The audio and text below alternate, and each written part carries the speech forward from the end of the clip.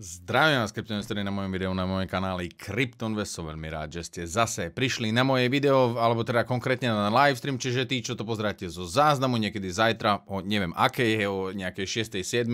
tak tie dáta môžu byť úplne, úplne niekde inde. Dúfajme teda, že tie dáta budú úplne na nejakých nových all-time high, ale uvidíme. Pozrieme sa teda na market, hlavne teda po livestreame, čo sa týka Bitcoinu. Možno niečo spomeniem aj teraz. Zajtra uh, bude video na gate.io, keďže veľa ľudí má problémy s depozitom, alebo zo pár ľudí má problémy s depozitom, s výberom, čo nechápem, hej, výber tam je aspoň teda u mňa úplne v pohodičke. A potom ešte copy trading. E, mám taký pocit, že som to zdieľal, alebo rozprával len Patreonom. Ďalšie infa a updaty budú len pre Patreonov, hej, keďže chcem, aby mali niečo špeci a pre a pre hodlnautov na YouTube. Eh, čiže eh, toľko k tomu. Zajtra o 12. už je naplánované video, alebo teda mám to rozplánované, že na 12. príde videjko na gay.io, aby ste teda vedeli, že čo tam je, čo tam nie je, kto má aký problém. Um, ja zatiaľ nezaznamenávam nejaké extrémne problémy. Dobre, vítam vás tu na 204 ľudí, aspoň teda zatiaľ určite, ak môžete, rozkopte ten like button a vzdielajte tieto videá, hej, na hodzákej facebookovej stránke stránke, keďže ja Facebook už nevyužívam, alebo Meta, alebo nejako takto novo, na novo sa to volá. E, čiže hlavne teda, aby sme tu dostali ľudí, ktorí um, žijú v tom, že Shiba Inu proste e, položí celý svet na kolena, aj keď položila, ale že to bude nejaká vynikajúca dlhodobá investícia. Možno áno, možno nie, ale myslím si, že čo sa týka dlhodobých investícií, sú oveľa lepšie kryptomeny. E, čo sa týka Shiby, možno je to vynikajúci coin na, alebo teda bol to vynikajúci coin na využitie nejakého tradu. Dobre, Poďme teda rovno na market, ak by bol nejaký problém, len rýchlo spamujte tento chat. E, dobre, čo sa týka marketu, market nám poskočil na 3 bilióny dolárov, BTC dominancia 41,2%, čo sa týka najväčších výťazov dneška, tak tu máme Loopring, Osmis, e, ten bol ešte e, na nejakom 102. mieste a vidím, že teraz získava celkovo parabolu Bitcoin a Basic Attention Token, pardon, tí majú spoluprácu so Solanou a tá ich strieľa mm, celkovo dopredu prakticky prakticky majú, alebo teda nemám tú, tú správu, ale budú integrovať uh, Solana D aplikácie na svoj browser, čiže vynikajúca vec, takisto už integrujú aj Ether a Binance Smart Chain, uh, čiže ďalšou treťou platformou, ktorá určite vyzvihuje Basic Attention Token je práve Solana, KuCoin Token, Litecoin, uh, Crypto.com Coin, a tak ďalej a tak ďalej. Čo sa týka najväčších lúzrov dneška, tak tu je Kadena. To je príležitosť na to, aby dúfam, že teda vyklesá na oveľa nižšie hodnoty, aj keď vyzerá to tak, že už tu má nejakú supertovú hodnotu, môžeme sa na to dneska pozrieť. Um, a dúfam, že teda vyklesá ešte nižšie. Za posledných 7 dní spravila 164% Wonderland, uh, NEM, Axie Infinity, Ecomi, Quant a tak ďalej a tak ďalej. Dobre, čo sa týka Bitcoinu, Bitcoin uh, sa nám dostáva nie na nové all-time high, na nové all-time high sa dostáva práve market Market Cap. Zatiaľ teda um, mohol sa nám potiahnuť lepšie ten Bitcoin, keďže zatiaľ, aspoň teda zatiaľ tu máme takéto krásne zastavenie marketu uh, práve na predchádzajúcom all-time high alebo na niečo na hodnotách okolo all-time high. Uh, tu nám máme jedno druhé uzatvorenie, alebo teda jedno zatvorenie na tejto línii, ďalšie otvorenie na tejto línii a následná rezistencia, čiže zatiaľ je z toho nejaká taká menšia rezistencia, tým pádom uh, stále môžeme rešpektovať túto zónu a tak takisto môžeme posunúť tento trojuholník e, smer alebo túto supportovú zónu smerom e, dohora do, e, a vytvoríme si takýto nádherný väčší trojuholník. Hej. Zatiaľ teda to platí, zatiaľ je to na rezistenčnej zóne, táto sviečka ukončí o 4 hodiny 52 minút, čiže kopec veci sa tu môže stať. Ak by prišlo odrazenie, hej, ak by prišlo odmietnutie, následne sa môžeme pozerať na prvú supportovú zónu a tým je práve táto hodnota 63 800 dolárov a následne táto nižšia hodnota stále ešte platí platí um, nákupky alebo nechať si nákupku na spot market, lebo veľa ľudí ma chytá za slovíčko a ako keby tento market alebo to TA bola 100% exaktná veda, že proste toto sa stane, e, čiže zo pár ľudí ma chytá za slovíčko a nie je to najpríjemnejšia vec, stále platí e, tie nákupky, ešte si treba nechať na hodnote 55 až 56 tisíc dolárov a potom tá 52, teda teoreticky, alebo teda neteoreticky, ale ja si to tam aspoň teda nechávam. E, keď to vyplní, budem rád, keď to nevyplní, nevyplní, nič sa nestane. Prečo by to mohlo vyplniť je práve weekly chart, e, ktorý má prakticky predchádzajúci high a takisto aj 21 na hodnote 52 tisíc dolárov. E, či to takto vyzerá, že to teraz vyplní alebo nie na weekly charte, ani zďaleka to takto nevyzerá na daily charte. Zatiaľ sa uzavrie táto sveťka o 4 hodiny 51 minút, čiže na daily charte máme kopec priestoru na to, aby sme sa potiahli ešte cez túto e, zónu rezistencie, keďže ani náznak zďaleka tu nemáme e, žiadny na rôznych indikátorov. Všetky sú nasmerované smerom hore, takisto aj e, Stochastic RSI, aj VT Cross a dokonca aj ADX. ADX je trošičku vychladnutý, čiže ten potrebuje sa tyknúť smerom hore. Tí, čo pozráte, alebo tí, čo chcete neviem, sa pozerať na každú jednu minútu na marke, tak určite, keď robíte TA 30 minútovka, 45 minútovka, dvojhodinovka maximum, alebo tí, čo chcete tradovať, a, ale hej, e, na, tom, na tej 12 hodinovke a na tom daily charte vidíte ten progres e, Bitcoinu a kryptomien zhruba v priebehu nejakého týždňa, čiže stále tie veci platia, keď robíte nejakú analýzu, že to platí zhruba do nejakých 5 až 7 dní, hej, na 12 hodinovka na daily charte, niekedy sa vám to ukáže okamžite, ale niekedy to trvá zo pár dní a takisto aj to, to zlezenie marketu. Na 30 minútovke máte proste progres nenormálny, hej, to skáče e, z hora dole, ale na 12 hodinovke máte oveľa čistejší progres a preto tie, e, využívam tú 12 hodinovku hlavne teda na spot market. Dobre, poďme sa teda pozrieť na nejaké správy. Crypto market sa dostáva na historické najväčšie hodnoty a to 3 bilióny dolárov. Tento market e, poskočil úplne nádherne. Na, najväčšími výťazmi sú pre mňa stále Bitcoin, e, takisto aj Ether Solana eh, sa nám um, potiahli celkovo veľmi pekne nádherne na nové all-time high, takisto aj Ether sa ťaha na nové all-time high, Ether vyzerá stále skvelo, pokiaľ si drží 21 a 30 Polkadot, eh, ten takisto odštartoval market a máme tu aj viaceré coiny, ktoré som dnes spomínal a to je napríklad Algorand, ale na tieto sa pozrieme potom. Čo sa týka piatich vecí, ktoré by ste mali sledovať je hlavne, na Bitcoine je hlavne teda e, zo pár vecí a to je aspoň teda podľa tohto článku. Keďže ja príliš tieto veci nebudem sledovať, nemyslím si, že majú až také veľké opodstatnenie. E, Barry Silberg e, dal takýto nápis, alebo teda povedal, že tento týždeň bude veľký. Nevieme, že prečo dal takýto post, že bude veľký a už teraz celý market je v obľube, v špekulácii, takisto ako keď Elon Musk povedal, že odpredá svojich 10% akcií z Tesly a každý proste už špekuluje nad tým, e, že zainvestuje do Bitcoinu, tak e, Barry Silberg z Grailskej Lu, ten sa vyjadril, že tento týždeň bude e, veľmi veľký a nikto nevie, že na čo vlastne narážal. Každý až si špekuluje a pozrá sa na to, že by sa mohlo schváliť to spotové ETF. Viacero kongresmanov dávalo žiadosť, alebo teda písalo na SEC, aj viacero ľudí písalo na SEC, že ako je možné, že tu máme futures ETF a nemáme máme tu tie bezpečnejšie práve spotové ETF, vyjadrovali e, tam e, svoj postoj k veci, hej, že tie Bitcoin, ET, Bitcoin spotové ETF sú oveľa bezpečnejšie pre investorov než nejaké futures, ktoré sú naviazané len a len na cenu. Čiže um, neviem, že či by sme mali práve sledovať túto vec. Dúfajme, že tento týždeň bude veľký, aspoň teda zatiaľ e, v tých začiatkoch sa zdá, že bude fakt, že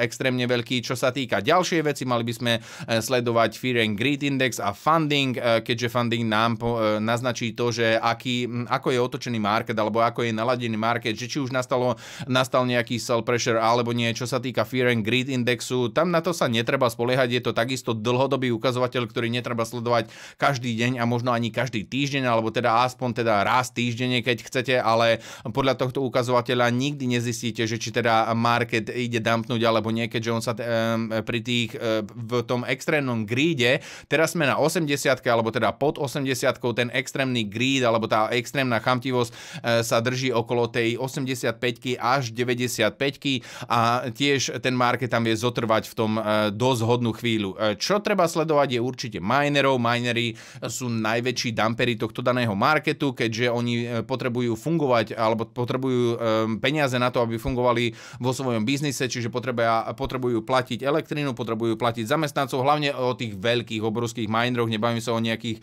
menších minerov, ktorí len si doma ťažu, ťažia a môžu vyplatiť si, eh, si ten uh, účet za elektrínu aj z nejakých iných zdrojov, než predajú Bitcoinu, ale bavíme sa o obrovských mineroch, o obrovských mining farm, uh, farmách, ktoré sú vytvorené čisto a čisto na biznis, na nič iné. Možno sa nepozerajú až tak na progres a podporu Bitcoinu, ale čisto na biznis veci a Bitcoin je zatiaľ veľmi profit, profitabilný, ako si môžete všimnúť.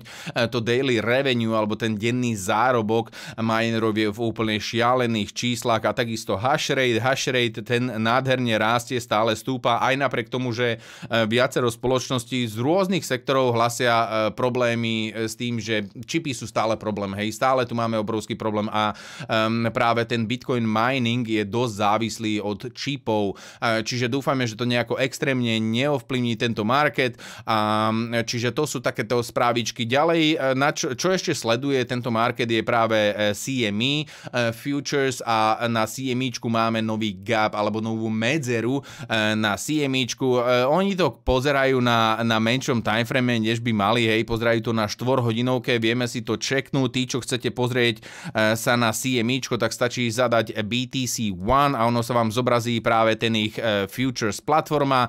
Treba ísť na daily a tu na, na tom daily vidíte, že je tu jeden gap a tu na, na daily charte ani nie je gap. Ja to osobne už nesledujem, bol potom celkovo hype niekoľko týždňov, alebo neviem, že v ktorom roku to bolo, mám taký pocit, že 2020-2019 práve tie CME gap sa stále vyplňovali. Prečo vzniká ten gap alebo tá medzera na grafe je, že e, Bitcoin sa obchoduje 24 hodín, 7 e, dní v týždni, nezastaviteľný market. Dúfajme teda, že to nie je zastaviteľný market, ale CME tam sa obchoduje iba od pondelka do piatku a tým pádom, keď je zatvorený market, keď sa tam neobchoduje, prakticky ten chart stojí počas víkendu, on sa otvorí na úplne iných hodnotách po väčšine, hej, keď Bitcoin e, sa vypušuje smerom hore alebo dole sa otvorí na úplne iných hodnotách a vytvorí sa takýto gap. Veľa ľudí to ešte stále sleduje, že tie gaps alebo tie medzery e, budú vyplňované, alebo teda ten tradičný market a tí tradiční investori, ktorí práve využívajú e, CME, tak budú prakticky hnaní za tým, aby sa vyplnili tie dané medzery, ale neviem, neviem, ja to celkovo osobne už príliš veľmi nesledujem skrz toho, že my tam máme tú dieru na tom market markete aj niečo na hodnote okolo 14 tisíc dolárov, potom niečo okolo tej 18 tisícky, mám taký pocit, a tieto neboli vyplnené. A dúfajme teda, že sa už ani nevyplnia. Čiže ja by som na to nedával nejaký, nejakú veľkú váhu ani na tento článok, keďže e, dosť veľký hype sa pod, potom spustil a na Twitteri už e, vzniká panika, že Bitcoin má koreláciu práve s dolárovým indexom. Ja keď som sa pozrel na ten článok, normálne mi až prišlo a som sa zapotil. E, jasné, že som si to skontroloval s marketom a zase jeden problém na, na tejto veci je, že áno, Bitcoin treba uznať, hej, treba uznať, že tento článok má pravdu, aspoň teda zatiaľ máme, alebo teda Bitcoin má menšiu, alebo teda teda má koreláciu, eh, alebo celkovo súhlasí a napodobňuje market ako eh, čo robí prakticky DYDX, alebo teda eh, ten dolarový index. Čiže môžete si všimnúť, že keď prakticky nesúhlasil s dolárovým indexom, dolárový index strácal silu a dominanciu a tým pádom Bitcoin sa vyšvihol až na hodnoty 60 tisíc dolárov. Následne dolárový index začal stúpať, takisto stúpal aj Bitcoin. Následne dolárový index vyklesal, vyklesal a brutálne sa E, spustil aj Bitcoin a teraz začína zase stúpať, alebo začal zase stúpať ADX a Bitcoin začína stúpať. E, niektorí to považujú, alebo teda sú zo pár e, strán, hej, je pozitívna aj negatívna strana, alebo teda hlavne na Twitteri som si to odsledoval, že zo pár ľudí bolo veľmi nadšených skrz toho, že ú, dobre, dolárový index zažíva teraz sílu, hej, preráža určité rezistencie dúfa, a veľa ľudí dúfa, že sa teda potiahne na vyššie hodnoty a tým pádom, keď Bitcoin koreluje alebo teda súhlasí s dolárovým indexom, že ho to môže vyhnať e, smerom hore, keď je to taká korelácia, hej, že keď ten dolárový index bude stúpať, tým pádom aj Bitcoin bude stúpať. Ale my určite nechceme, aby Bitcoin koreloval s vôbec ničím, ani s tradičným marketom, ani s dolárovým indexom. Toto je len čiastočná korelácia, hej, čiže netreba sa na to pozerať, že proste Bitcoin bude robiť identické veci, čo robí dolárový index. Možno zatiaľ to teraz tak funguje, ale e, čo sa týka e, toho, tej, tej korelácie, tak to stále musí musíte sa pozerať na nejaký dlhodobý time frame. Hej. Jeden, jednodňový graf vôbec tomu to nič nezachráni. Skôr by sme sa mali pozerať na mesačnej báze, na mesačný chart, čo robí dolárový index a čo robí Bitcoin, keďže na to sa takisto nedá príliš veľmi spoliehať a dúfajme, že z tejto korelácie vyjde čím skôr, tým lepšie, keďže dolárový index dlhodobého hľadiska proste len a len klesa a to pri Bitcoine určite nechceme. Dobre, Prichádzajú ale aj pozitívne správy um, a máme tu Zimbabwe a jeho guvernéra, um, ktorý uh, konzultuje stále viac s privátnym sektorom na to, aby zlegalizovali Bitcoin. Uh, zatiaľ je to v štádiu v tom, že práve Zimbabwe uh, rieši um, so súkromným sektorom to, aby zlegalizovali Bitcoin, ale zatiaľ je to len v tom štádiu, že nad tým rozmýšľajú. Ešte to nie je vôbec uh, v žiadnych, neviem, nedali tu vôbec žiadne tomu percentá, celkovo ten článok prichádza e, z ich oficiálnych zdrojov, alebo teda e, z, lokálnej, z lokálnych zdrojov, z lokálneho um, papiera, alebo teda um, organizácia správ, hej, čiže Bulavajo, Bulavajo, to sú správy, kde, bolo, eh, kde bola táto informácia pustená ako prvá. Eh, zatiaľ, ako hovorím, je to v štádiu v tom, že eh, zatiaľ ešte teda rokujú s privátnym sektorom. Dúfajme, že bude Zimbabwe ďalšou, druhou krajinou, ktorá začne akceptovať Bitcoin ako legálne platidlo. Uvidíme, že či sa to stane alebo nie. Myslím si, že je len otázka času, kedy viacero krajín proste pristúpi k, takémuto, k takejto veci. Zatiaľ teda tu máme iba v úvodzovkách, hej, iba El Salvador, ale keď tu príde ďalšia krajina a ďalšia, hej, že budú tri a bude to znamenať, alebo teda vďaka tomu, že tam uznali nejaké iné platidlo, než je dolár, alebo v Zimbabwe ani neviem, čo majú, eh, tak to môže odštartovať šialený trend v, rôzne eh, tých, eh, v rôznych krajinách a hlavne s tou slabšou ekonomikou. Ináč, čo mňa najprv tak zarazilo je, že čo tu robí ten vták, hej, vyzerá to ako keby bol na nočníku a niečo tam robil. Čiže dúfajme, že že, že to odpáli dekel, hej, dúfajme táto správa by bola veľmi pozitívna, aj keď, hej, už som si všimol na Twitteri takéto správy, že Zimbabwe je veľmi malá krajina, veľmi malá ekonomika, ale my sa tu nemusíme predbiehať a nikdy nemôžeme očakávať, že Rusko bude druhou krajinou, ktorá, Rusko alebo Amerika, alebo hoc aká obrovská ekonomika začne akceptovať Bitcoin ako legálne platidlo, hej, čiže e, s tým nemôžeme počítať aspoň teda zatiaľ. Dúfajme, že čím skôr e, môžeme aj s touto vecou počítať. Dobre, ďalšie správy nám naznačujú to, že e, Bitcoin, alebo teda e, záujem o Bitcoin klesá. E, naznačili to, naznačil to report z Genesis z tretieho reportu, alebo teda z tretieho kvartálu. Na, pre tretí kvartál spravili report táto spoločnosť a tu na vidno zjavné upustenie od nejakého šialeného trendu, čo sa týka inštitúcií na to, aby investovali do Bitcoinu, čiže ten záujem je v miernom vyklesávaní. Ja si to celkovo, akože tie dáta sú fakt, že práve pravdivé, hej, keď si kliknete na tento report, e, oproti tomu, že ako to bolo v, v prvom a v druhom kvartáli, tak áno, je tam menšie, men, menší downtrend, čo sa týka toho záujmu inštitúcií o Bitcoin, ale zase máme tu Ether, máme tu Solanu, máme tu, e, máme tu viacero iných um, altcoinov, na ktoré sa pozerajú už inštitúcie, čiže to neznamená to, že do systému prichádza menej peňazí, do systému možno prechádza trošička menej peňazí do Bitcoinu. Aj tak si nemyslím, že je to eh, nejaká obrovská katastrofa, eh, keďže aj inštitúcie majú presne to, čo my, hej, pozerajú sa po um, investície a po, potom, aby tú investíciu znásobili, čiže, alebo teda čo, čo najviac percent chcú zarobiť. Čiže oni sa budú pozerať stále po, aj po nejakých altcoinoch, ale e, takéto gro tých investícií pôjde a stále ešte to bude stále investícia práve do Bitcoinu. Vidno to aj na týchto dátach, hej, keďže v Bitcoine a čisto v Bitcoine máme zainvestovaných, alebo teda inštitúcie a spoločnosti majú e, zainvestované a to len publicly traded, čiže verejne obchodované spoločnosti majú zainvestované 15 miliard e, dolárov, čo je celkovo pekné číslo. Úplne najväčším lídrom je e, MicroStrategy, tí, čo ste nepozerali dneska Pompliana, určite si ho pozrite, rozpráva tam práve so CEO tejto spoločnosti, so s Michaelom Saylorom, Tesla 42, necelých 43 tisíc bitcoinov a potom tu máme ešte spoločnosti ako sú Square, Coinbase, Digital, Galaxy Digital a tak ďalej a tak ďalej. Plus tu máme ešte úplné šialenstvo ohľadom tých ETF, futures ETF, hej, čiže preto si myslím, že ten spot market môže úplne šialene odpáliť dekel, ako ja tomu hovorím, keď proste príde spotové ETF na market, keďže tam to spotové ETF bude znamená to, že kto bude výdajcom toho ETF, bude musieť fyzicky nakupovať Bitcoin a mať ho vo svojej súvahe, aby mohli potom ponúkať e, shares. Čiže to je úplne parádna vec. Dúfajme, že to spotové ETF príde čím skôr, tým lepšie.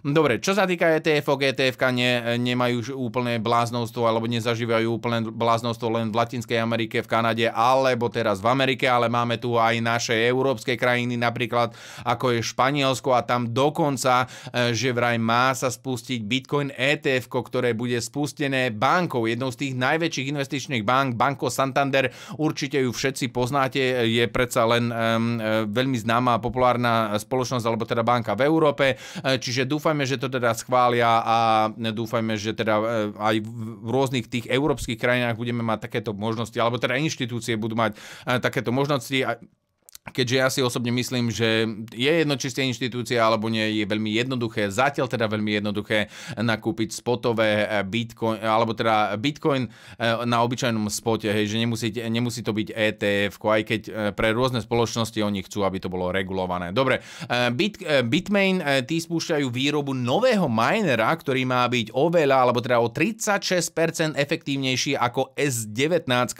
čiže tí, čo sa pozráte na kúpu nových zariadení, trošička si možno počkajte, neviem, aká bude distribúcia, e, keďže fakt, že sú problémy teraz e, s KD čím, už nie len s čipmi, ale aj s rôznymi inými, inými materiálmi, čiže e, prakticky sa spustí nový miner, ktorý bude o 36% profitabilnejší než tie S19 Pro, čiže mal by to byť S19 XP a ten by mal um, ťažiť, alebo teda mať sílu tých eh, zhruba nejakých 150 tera hashov. Čiže celkovo dobrá vec a, taká, eh, a takisto malá spotreba energie, ako to je pri eh, S19 Pro. Čiže minery, vy si asi to vychutnáte.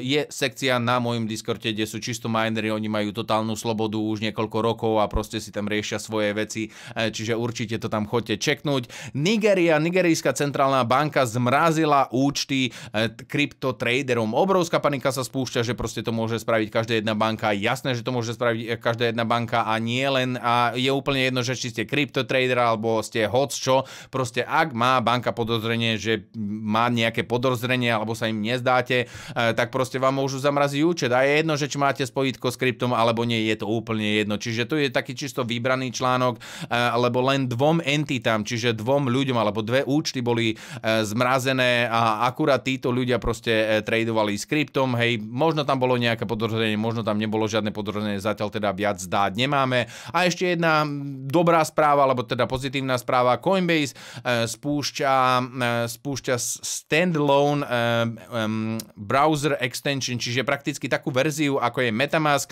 samostatne rozšíren, rozšírenie prehľadača, čiže bude to prakticky takisto fungovať, ako je Metamask. Ako viete, Coinbase má svoju vlastnú peňaženku, ktorá, ktorá je celkovo zaujímavá, dobrá, je na mobile, ale bol obrovský problém, že nemala web extensiu a tým pádom e, nemohli ste ju využívať alebo nemôžete ju využívať na rôznych iných platformách a hlavne teda e, spojítko okolo DeFi a NFT, tam to proste nešlo. Museli ste mať buď verzie, ktoré majú tú extensiu, alebo teda tú Coinbase peňaženka vám bola úplne na prd. Čiže teraz sa to prakticky mení a bude to veľmi podobná vec najznámejšie peňaženky a tým je MetaMask. Dobre, toto by boli správy správy na dnes, nechcem to nejako príliš predlžovať. My sa vidíme v ďalšom videu, prajem vám zatiaľ pekný deň. Čaute.